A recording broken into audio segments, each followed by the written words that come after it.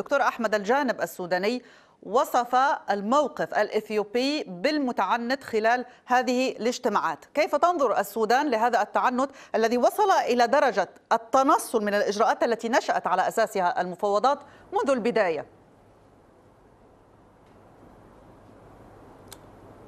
آه لا شك أنه مش هو الوصف السوداني هو حقيقة الأمر. هذا ما حدث.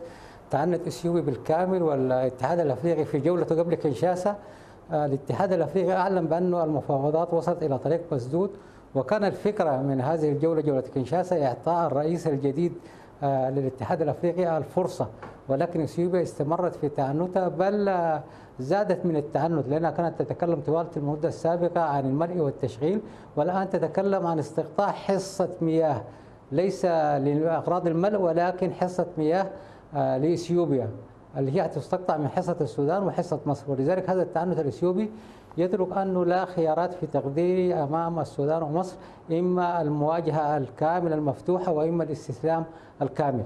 آه، وفي تقديري أنه المواجهة آه، إذا مشوا إلى خيار المواجهة هذا يتطلب لابد في كخطوة أولى من اختار مجلس الأمن حتى إنه اعطائه الفرصة للتدخل ولحل الموضوع بالطرق المنصوص عليها في الفصل السابع من ميثاق الأمم المتحدة.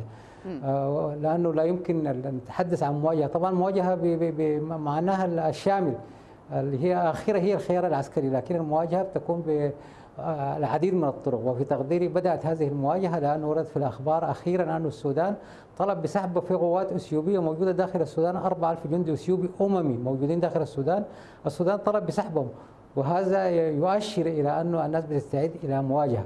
وفي تقديري إما المواجهة وإما الاستسلام للرغبة الإثيوبية وفقد السيادة بالنسبة للسودان وبالنسبة لمصر. خيارين لا ثالث لهم وكل واحد فيهم أمر من الخيار الثاني خيار الحرب مر جدا وخيار الاستسلام أكثر مرارة